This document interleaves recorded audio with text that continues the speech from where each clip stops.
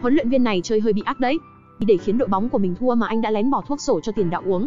Nhưng anh không ngờ rằng tiền vệ này quá dữ, uống hết sạch một chai nước bỏ thuốc sổ mà lại không hề hấn gì.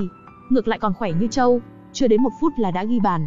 Anh vội vàng cho tiền đạo uống thêm chai nữa. Kết quả là tiền đạo lại càng hăng thêm, liên tiếp né được phòng thủ của đội bạn, trực tiếp xông vào vùng cấm. Đá bừa một phát mà bóng lại vào lưới. Huấn luyện viên đứng ngồi không yên. Hai chai không được, vậy thì ba chai, anh lại cho tiền đạo uống thêm chai nữa. Sau đó trở lại sân, tiền đạo càng dũng mãnh phi thường, liên tiếp chọc thủng phòng vệ đối phương, khung thành lại sắp thủng lưới rồi.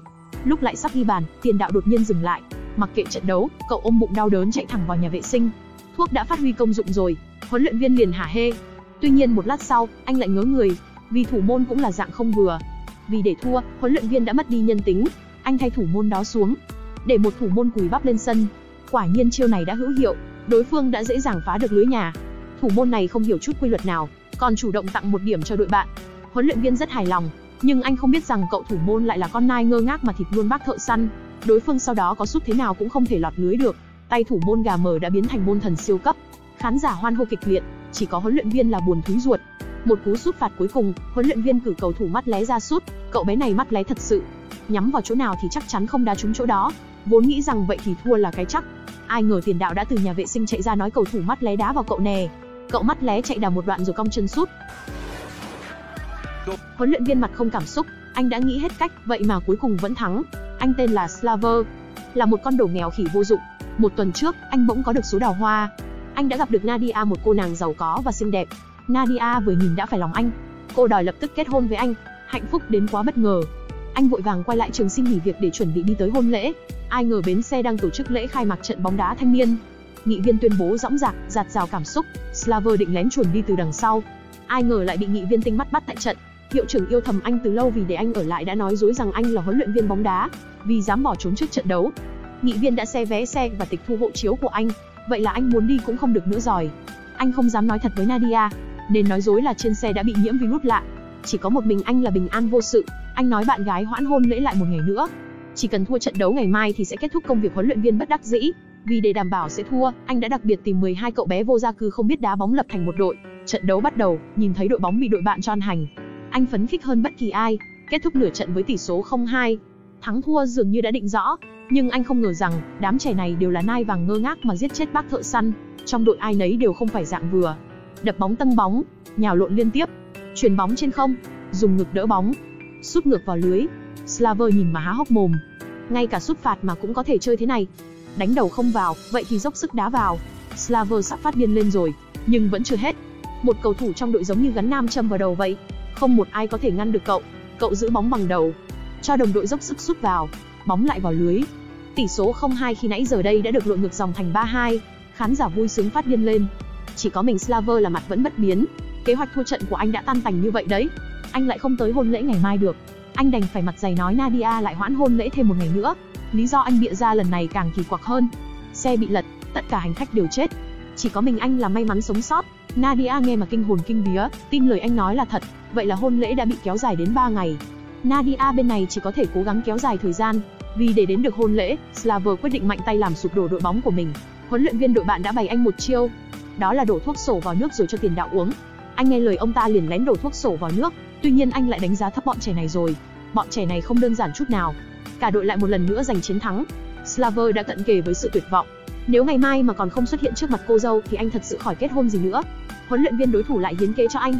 Đó là để bọn trẻ ra bến tàu bốc hàng vào đêm trước trận đấu, lấy cớ là luyện tập trước thi đấu. Nhưng thật ra là vắt cạn thể lực của chúng, vì để cho chắc, Slaver còn nhốt thủ môn cử khôi lại trước trận đấu. Quả nhiên chiêu này cực kỳ hữu hiệu. Các cầu thủ chạy cũng không nổi, mà nhảy cũng không xong. Thủ môn dự bị không thể giữ được khung thành, kết thúc nửa trận với tỷ số 0-3. Bọn trẻ đã hoàn toàn mất đi ý chí chiến đấu.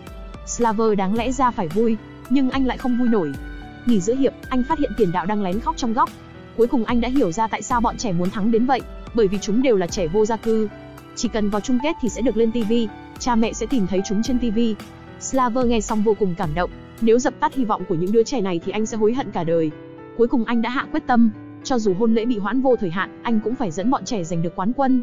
Anh đã nói thật tất cả với chúng, bao gồm chuyện bỏ thuốc, nhốt thủ môn và cả chuyện vắt kiệt thể lực của chúng. Anh thành thật hối hận khi đã làm vậy. Ai ngờ bọn trẻ này lại ra tay ác hơn cả anh. Quay trở lại sân, cả đội đã hừng hực ý chí chiến đấu. Dưới cơn mưa như chút nước, tài năng của những đứa trẻ này đã được đánh thức triệt để. Đây là một đội bóng thiếu lâm nước ngoài, nhảy vọt lên, sút bóng trên không. Cả đội bắt đầu phản công kịch liệt, ra sức chuyển bóng, lộn ngược sút bóng, nhào lộn 360 độ sút bóng vào khung thành. Cuối cùng cả đội đã chiến thắng, và công lao lớn nhất lại thuộc về anh. Một huấn luyện viên bóng đá mạo danh bất đắc dĩ, họ đã thành công lọt vào chung kết. Slaver định nói thật tất cả với Nadia, nhưng tiếc là đã muộn. Nadia bị lừa liên tiếp đã nổi điên lên đập phá hôn lễ.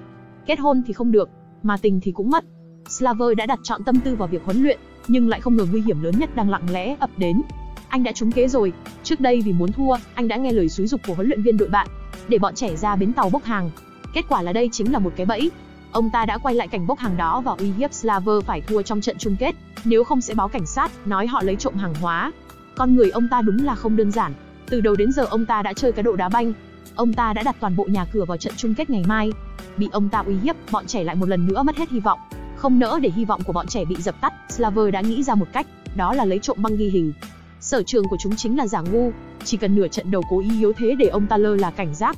Đến lúc đó Slaver sẽ có thể lấy được chìa khóa trên người ông ta, rồi lấy cắp băng ghi hình kia. Đây là một nước cờ mạo hiểm, chỉ cần một phân đoạn xảy ra sơ suất thì họ sẽ không còn cơ hội nào nữa. Trận chung kết cuối cùng đã bắt đầu, giống như kế hoạch, cả đội đã chủ động yếu thế. Sau khi tỷ số nửa trận là 0-3, ông ta quả thật đã lơ là cảnh giác. Slaver nhân cơ hội đó lấy trộm chìa khóa và đã lấy được băng ghi hình trong kết sắt. Có băng trong tay, bọn trẻ trên sân trong chớp mắt đã vực dậy phản công. Chúng tấn công khung thành, đánh bóng bằng đầu các kiểu, vung người sút bóng các thứ. Cả đội liên tiếp ghi bàn, mạnh như vũ bão, khiến đội bạn không có bóng để mà chơi. Ông ta vội vã chạy về lấy băng ghi hình. Vào giây phút nguy cấp, Nadia đã xuất hiện. Hai người cuối cùng đã gương vỡ lại lành. Vào phút cuối cùng, thủ môn dẫn bóng xông ra vòng cấm. Giây phút đó, khán giả đều kinh ngạc. Một mình thủ môn đã liên tiếp chọc thủng phòng thủ. Cậu chạy một mạch đến vòng cấm đối phương, rồi nhảy vọt thủ môn đội bạn.